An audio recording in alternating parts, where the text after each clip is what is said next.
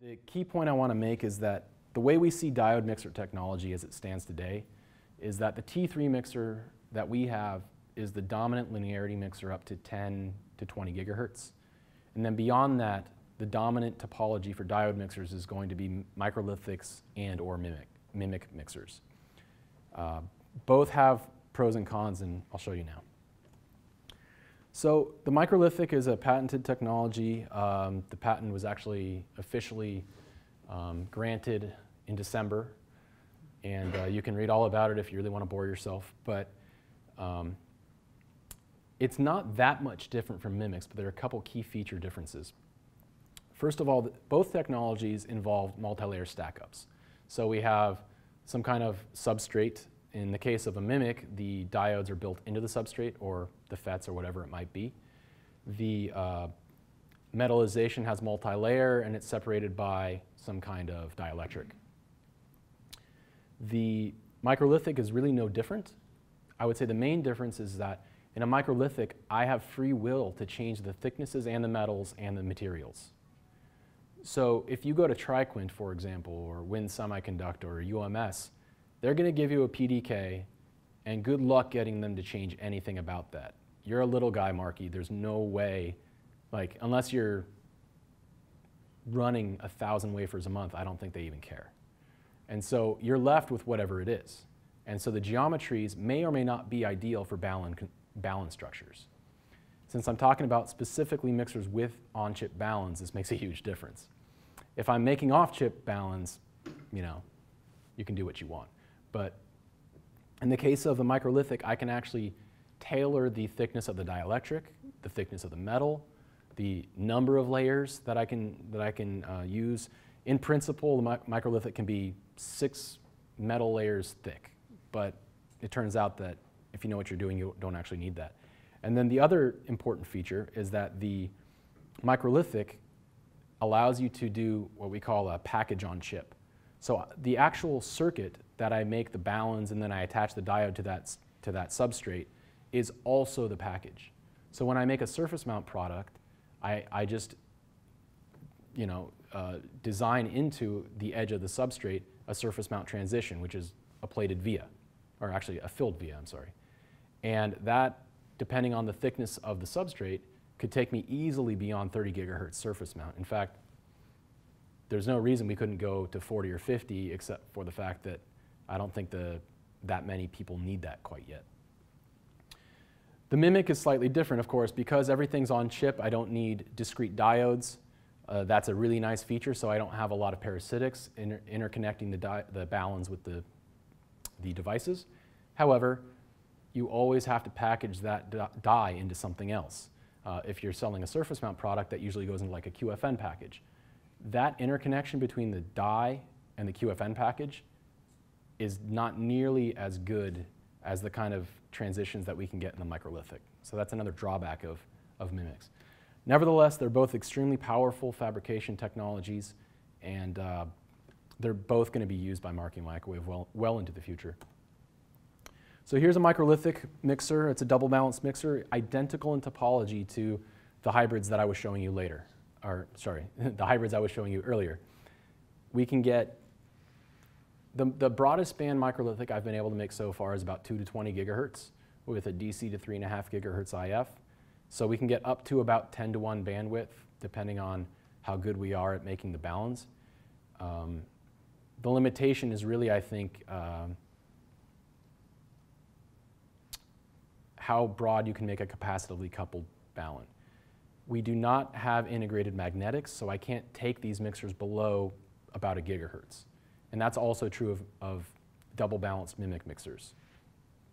You can see that we achieved about a 14x size reduction, and the end product is about 90 mil by 152 mil, which is virtually identical in area to a 3 millimeter QFN. In fact, it's slightly smaller just so I could say it was smaller. The way we design microlithics and MMICs is basically identical, and um, it's definitely different from the way that my dad designed the T3. Um, it's all done on the computer. It's all done with Microwave Office and HFSS. What we do is we fully 3D simulate the entire mixer passive structure.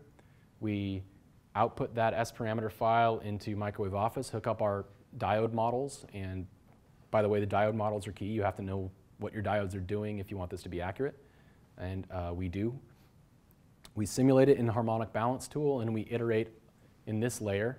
We don't actually tape out until we're happy. When we tape out, it can take anywhere, you know, typical fabrication, anywhere from, call it five weeks if you're lucky, to 10 weeks if you're lucky, and uh, potentially six months if you're really unlucky and they screw up. But uh, that's only happened like once. The uh, end result uh, gets back in our lab. It's almost finished. In the case of a microlithic, we still have to do diode assembly. And uh, in the case of a MMIC, we have to do chip assembly. So, you know, they're, they're complementary sets of skills, but they're not identical.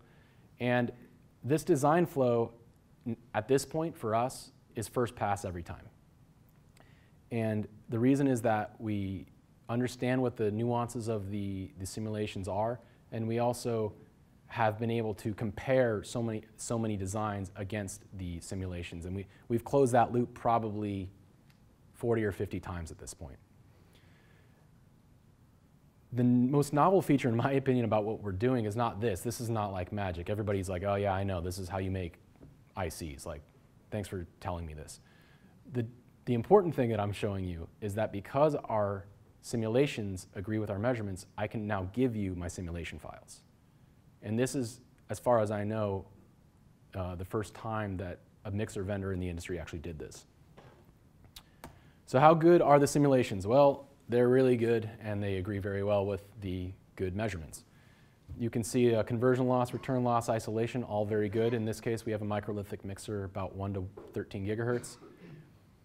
Here's a 2 to 20 gigahertz mixer. Again, we have really, really nice overlap. And this is because we uh, know how to run the simulations very well. And, and I would say, as a general point, uh, this could not be done in a 2D or a 2.5D simulation. In my opinion, you have to use the full 3D model because of the, the nuances of, of the, the parasitics.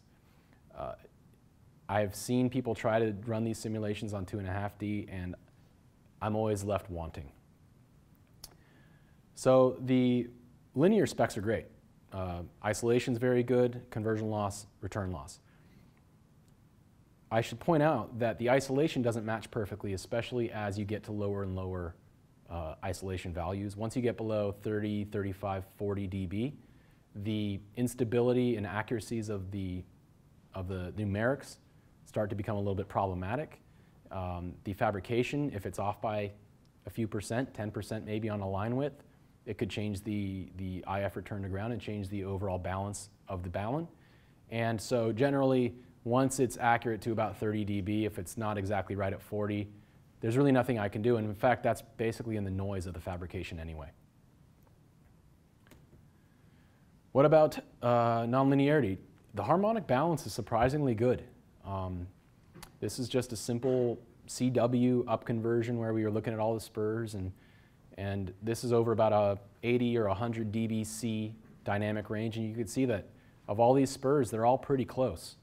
Some of them aren't, some of them are better than others. And I'll be honest, we are at the beginning of a very long quest to understand which ones are better and why. But uh, overall, three or four dB agreement, I'll take that over this kind of dynamic range, especially when the alternative is for my customer to manually enter a spur table into his simulation. In this case, it's a black box model. It's just a three-port device. I make no requirement that you surround the mixer with 50 ohm loads. You can put filters. You can reactively terminate. You could actually, in principle, do things like image recovery and, and some, some exotic um, reactive impedance loading on the mixer. I make no claims that you'll be successful at it, but in principle it could be done.